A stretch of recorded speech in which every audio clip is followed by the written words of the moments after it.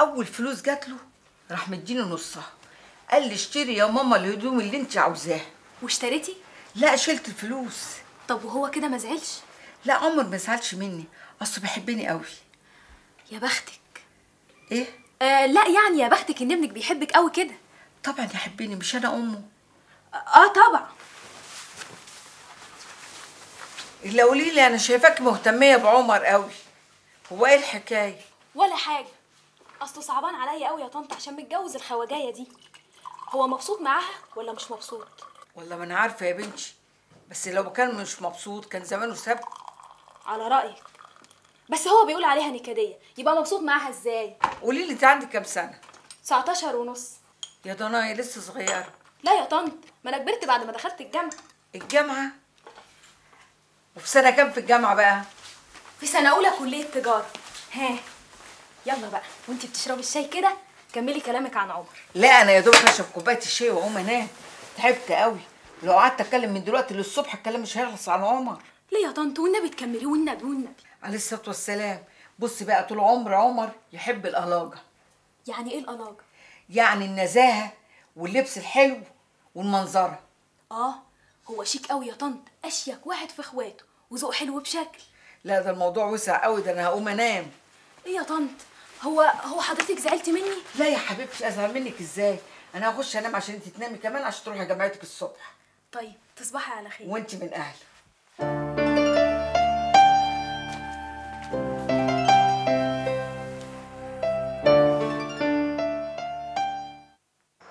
هو طبعا موضوع يضايق بس لو فكرت فيه بالعقل.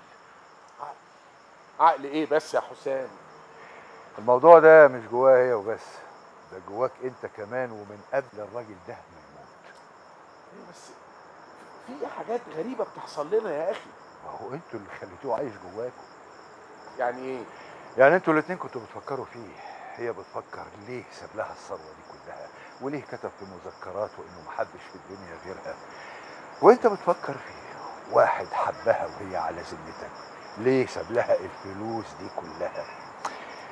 صدقني اوعى تفكر في واحد ميت وإلا هتجني على حياتك وعلى بيتك.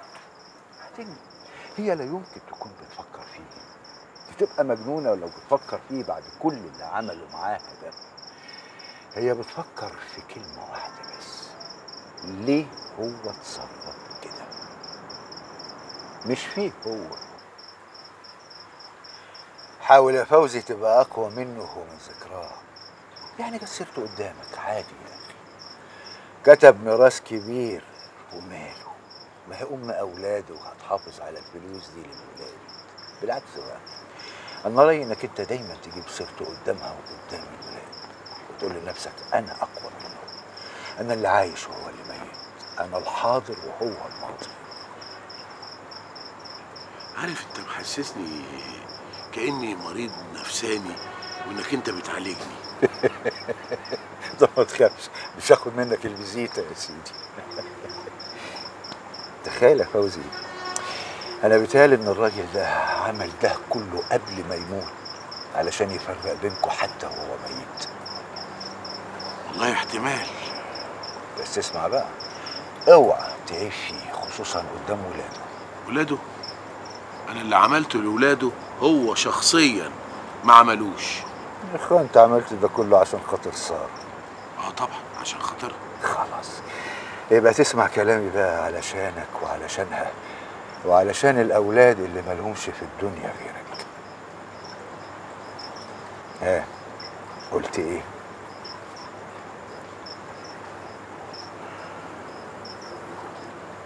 حاضر. حاضر يا حسام أنا آسفة قوي يا فوزي.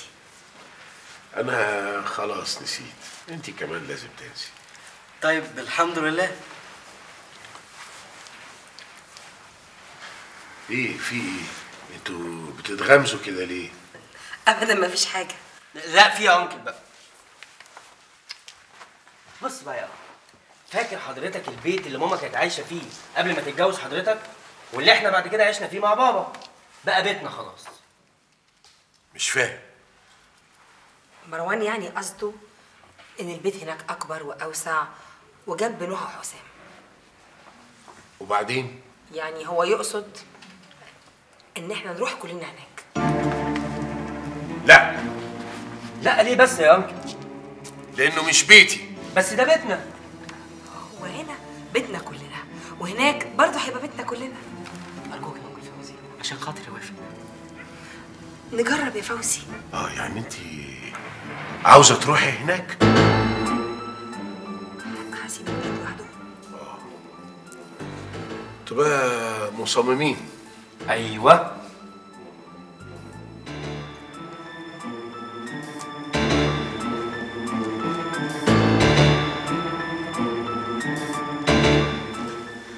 فوزي يعني لو انت متضايق ان إحنا نروح دلوقتي ممكن نستنى شهر أو اتنين.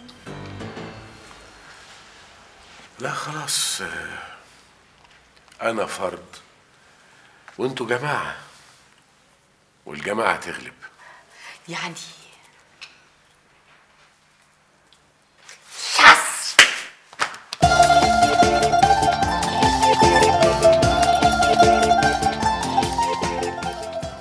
صح يا باشا جات لنا إشارة من الانتربول في إيطاليا بتقول إنهم هيبعتوا ضابط من عندهم عشان عملية التنسيق بيننا وبينهم. ووضع الخطة اللي تمكنهم من القبض على زعماء المافيا هناك. طب يا فندم دلوقتي موقف كارولين وعمر هيبقى إيه؟ شوف يا خالد هو بالنسبة لكارولين مش مهمة لا لينا ولا ليهم. لأن هي ببساطة شديدة جدا ممكن تنفي علاقتها بالفلوس اللي وصلت مصر وممكن تتنازل عنها وممكن كمان تتصالح مع الإدارة. وفي الحالة دي ممكن تسيب البلد من غير أي عقاب. يا جماعة أنا المهم عندي مش كارولين المهم عندي أبوها. زعيم العصابة. عشان كده الانتربول كان مهتم إنه يبعت مندوب من عنده عشان يؤكد العلاقة بين الفلوس دي والتجارة اللي كان بيقوم بيها أبو كارلين هناك وكلها تجارة محرمة دوليا سواء كانت تجارة مخدرات أو سلاح أو دعاره طب يا فندم لو قدروا يثبتوا العلاقة دي ده يعني ممكن يدينوا ويدخلوا السجن؟ ممكن ياخد فيها إعدام وممكن يقضي بقية حياته في السجن. بس حضرتك برضه يا فندم ما ردتش على سؤالي. موقف عمر هيبقى إيه؟ شوف يا خالد السؤال ده الوحيد اللي ممكن يجاوبك عليه هو عمر شخصيا.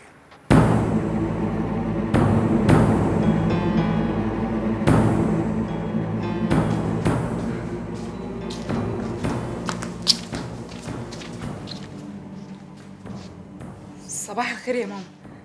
إيه ده؟ رايحة فين؟ رايحة بيتي. صباح الخير. صباح الخير عليكم كلكم. إيه ده؟ انت ما رحتيش الكلية ليه؟ أصل أنا وطنط كنا سهرانين طول الليل كنا بنتسلى سوا.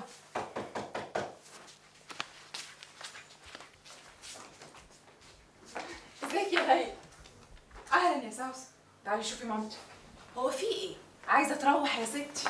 لا المرة دي عندي أنا وأحمد عارف كده كويس. ازيك يا حبيبتي؟ ازيك يا روح يلا يا ست الكل تعالي معايا بقى.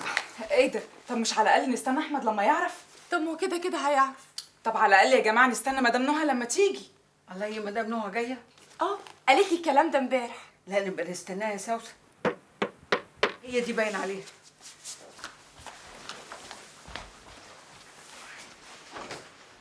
أهلا أهلا يا أهلا مدام بيك يا ليلى. اتفضلي.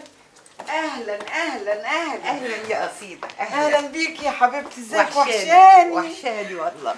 أهلا أهلا أهلا. أهلا يا حبيبتي. عاملة إيه دلوقتي؟ نحمد ربنا الحمد لله. الحمد لله. اتفضلي يا مدام نهى. شكرا. الشاي يا أسمهان. حاضر. ها مش ناوية تيجي معايا بقى؟ لا يا طنط نهى المرة دي الدور عليا أنا.